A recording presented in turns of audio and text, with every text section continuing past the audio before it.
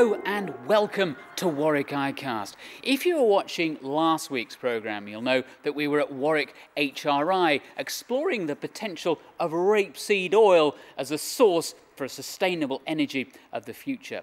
Well, we're back again this week to assess an alternative solution straw.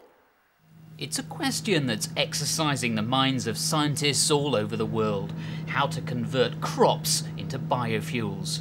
But in our rush to find greener alternatives to fossil fuels, we could be storing up new problems for ourselves moral, social, and economic ones.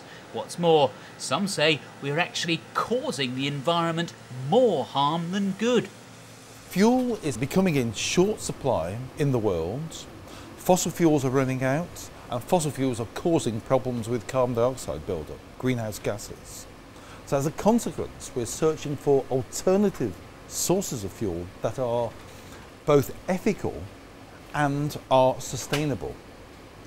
The recent search for biofuels from sugar crops such as sugarcane or from starch crops like maize or wheat have been successful and are in massive use in the US but there are ethical questions surrounding them. There are problems, for instance, that the search for these new bioenergy crops has actually pushed up the price of the food. And paradoxically, this big push for alternative fuels in some ways is actually bad for the environment. Well, yes, I believe that's right. We now have a situation where fuel crops are being grown and causing the destruction of tropical rainforests. So, could straw provide the answer? Wheat grain is already being used as a source of biofuel. What they're doing at HRI is trying to make use of wheat crop wastage instead. That leaves the grain for eating, reducing the risk of scarcity and starvation, and of course, inflated food prices. We're taking wheat straw and we're breaking down wheat straw biologically using bacteria and using fungi. And these organisms partially break down wheat straw to useful chemicals, which we can then convert for the chemical industry, for fine chemicals, and also convert for the fuel industry, for bioethanol. How exciting is this? Is straw the future? Well, straw is part of the future. This is never going to be a complete solution to the world's energy suppliers. There is now going to be a whole series of options to provide fuel. The critical thing about straw is that we can convert it to a liquid fuel and liquid fuel is essential for, as a transport fuel. Working alongside Dr. Burton on the project is Dr. Daniel Eastwood. He's a microbiologist with a special interest in all types of fungus. HRI has one of the largest collection of mycologists in the country, that's people who study fungi. and we cover a whole range of interests including plant pathology but um, also we look at uh, the mushroom growing industry so that's the production of mushrooms for farming and agriculture and a part, a large part of that is turning straw into mushrooms which is um, our main interest that we've been studying here for well over three decades. The mushroom industry um, is, takes what we would consider a low value product straw and converts that into a relatively high value product which is mushrooms. And what the mushroom is doing is actually using the straw as food to make mushrooms. And that principle can be applied to many other fungi not just the fungi which make mushrooms. And those fungi break down straw in a slightly different way. And when they break it down into more simple components, perhaps sugars, those can then be taken and made into fuel. So what exactly are you trying to do and how are you going about it? Well, our aim is really to use the fungi to break down the straws uh, as efficiently as possible, and that means optimizing the process so that the little input is necessary to get the maximum product back. And how are you doing that? Well, we have to understand how the fungi actually break down the straw. Um, we know that they grow quite happily on the straw and at the end it's broken down. But how that is actually done is not clearly understood and we need to get a better understanding and optimizing the way that the fungus grows on the straw so that we can get the most out of it.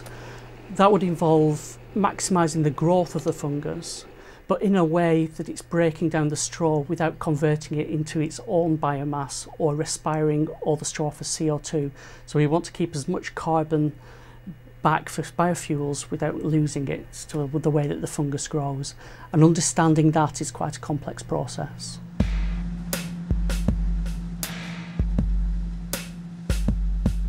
The project is still at an early stage, but the signs are encouraging. These are the bioconverters where we set the conditions for fungi and bacteria to actually break down the wheat straw. And if we open up the bioconverters, you can see the heat generated by this fermentation process. Cool. Just look at this. And this is what Ooh. happens to the straw. Partially bioconverted from straw to a composted straw from which we can now extract energy and materials. As well as heat, it also generates quite a smell. Yes, it's fantastic. That's one way of describing it. But yes, but what we can do is collect the chemicals from this smell, and actually they are part of the bioconversion. Now, these are small scale converters. Presumably, eventually, you'd hope that there'd be mass uh, converting going on. Well, very much so, very much so. These bioconverters are based on the mushroom industry. This is the experimental unit. But in the mushroom industry, you have straw bioconverters for hundreds or even thousands of tons per week. These converters are, of course, fairly basic, but HRI has begun to experiment with more sophisticated techniques. Well, now we've moved into the fermenter suite of the bioconversion unit, and you can see here we have a 300 litre fermenter uh, an experimental fermenter which is designed for bioconversion for, in our case, for the liquid which we're going to take from the bioconversion we saw previously and then convert that liquid to materials that are useful for industry or biofuels. While Dr. Burton and his team at HRI focus on converting straw into biofuel, their colleagues at WMG have begun to explore the potential applications. At WMG, we've got a lot of industrial partners who are really excited about this kind of research that we're doing. They're looking for ways of being more environmentally friendly and green. It gives them a, a, a, an advantage in the marketplace, particularly when it comes to consumer products. So alternatives to fossil fuels and fossil plastics is really exciting for them.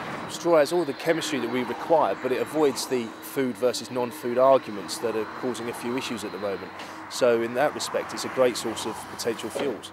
Once they've started fermenting the, the straw down and breaking it down into useful products, we're going to start using fine chemicals for the chemical industry, we're going to start making plastics for the plastics industry, and then we're going to make fuel specifically for uh, cars and even aeroplanes. Realistically, how long do you think it'll be before we're putting ethanol derived from straw into our cars? Well, with the expertise we've got here and our industrial partners, we believe we could achieve this within, say, five to ten years. If Dr. Kirwan's right and straw does become an important source of transport fuel, it will have one very big advantage over fossil fuels. We certainly needn't worry about it running out. The advantage of straw is there's so much of it. The UK alone produces 20 million tonnes of straw every year. So that equates to a third of a tonne for every person living in the UK. So to use straw for, as a fuel, to use straw as a source of materials, is environmentally friendly. It's sustainable and um, requires no extra inputs than for the production of the wheat grain itself. Well, that's about it for this week. If you've got a comment on this, or indeed any other item you've seen on Warwick iCast, then please do drop us an email. We'd love to hear from you. Until next week, goodbye.